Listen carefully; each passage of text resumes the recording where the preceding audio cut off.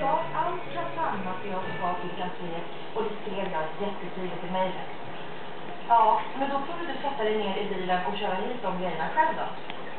Ja, det var klistermärken, eh, ballonger, hattar, eh, mariannkolor. Eh, Du, ursäkta. Ja, vad var det mer? Eh, Du, du, med kartongerna. vänta lite. Jag skulle vilja sätta dörren för mig. Vad heter jag? Eh, Du får skynda dig hit. Det är fredag, klockan är halv fem och jag är landet nu. Katrin! Ja, det spelar ingen roll. Majken! Elinor! Skit i, skynda dig hit. Jessica! Ja, tack detsamma. Är det något kul? då? Ja, jo, för all del. Vi ska få Bengt Vända. Jag skulle på middag. Har ut det. Jajamensan, han ska göra en grej på, på Gunnar och vi tänkte ha lite så här hemmahusreportage och där. Så det blir, det blir Gunnarsson och jag. Ja, det jag frågan med tio minuter. Hur det? Nej, eh, nej, jag inte. du, du, du känner igen. Ja. Ja, sådär. Men alltså, berätta, vadå? Nej, det, det är bara... Sen jag blev ordförande i ungdomsförbundet så har han gjort allt han kan för att sätta dit mig. Jo, det är lite hans jobb. Sen vi ska vara riktigt ärliga så har vi inte haft världens mest det får vi nog säga. Jag har inte rört en ro på tio år. Men jag känner till den verkligen. Mm. Han ger en massa smycker och uppmärksamhet.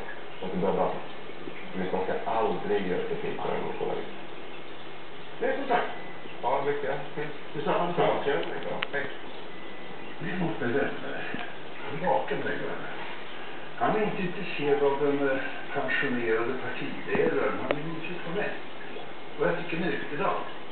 Och du förstår vad jag menar. Där de ska inte varslas, de ska smygas.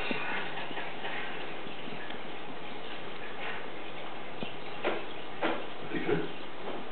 Mm, gott. Lite tunt. Theo! Theo!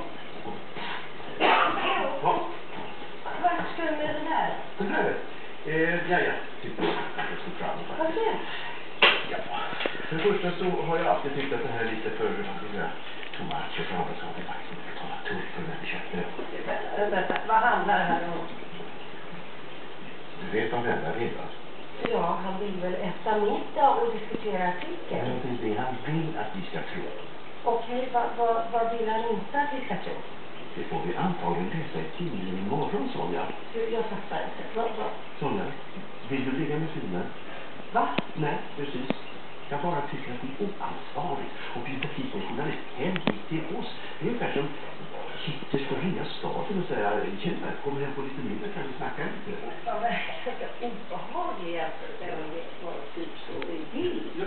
Gjorde det? Ja, men